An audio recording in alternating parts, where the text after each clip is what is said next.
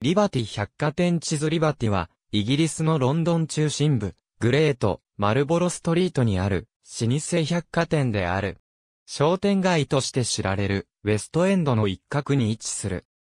1875年、アーサー・ラセンビー・リバティによって、日本や東洋の装飾品、織物、その他様々な芸術工芸品を販売する店として開業した。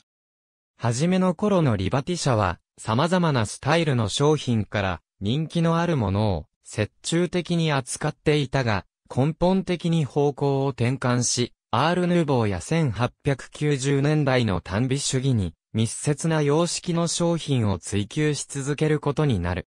イタリアでは、アール・ヌーボーがスタイルリバティとして知られるようになるなど、リバティ社の名前はその美術様式と同じ意味を持つまでになった。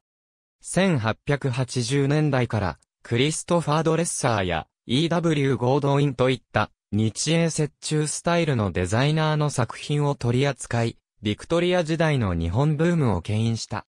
リバティ百貨店の内装現在の建物は、グレート、マルボロストリートに面しており、チューダーリバイバル様式のアーツクラフツの建築物としては、ロンドンで最も代表的なものの一つである。イギリスの第二種指定建造物に指定されている。エドウィン・ティー・ホールとその息子、エドウィン・エス・ホールの設計で1924年に建てられたもので、その材木は、イギリス海軍の2隻の軍艦、インプレグナブル、ヒンダスタンに使われていたものを流用している。リバティ百貨店は、釣り天井や会社名が記された、調度品といった、当時の大型百貨店での流行を取り入れなかったことで、外装だけでなく、店内も本来のチューダーリバイバル風の装飾を誇示した。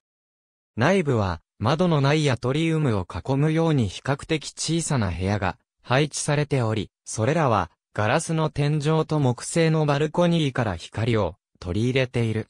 エスカレーターはなく、代わりに階段と装飾が施されたリフトが設置されている。リバティ百貨店では、最新の流行の化粧品、装飾品、贈り物、ホームウェア、家具などを販売している。リバティは、ショーウィンドウ装飾士のチームを持っており、創造的かつしばしば超現実的でもある、ウィンドウディスプレイは有名である。1988年、リバティは、日本の店舗でも、商品を販売すべく、日本に卸売を行う子会社を設立した。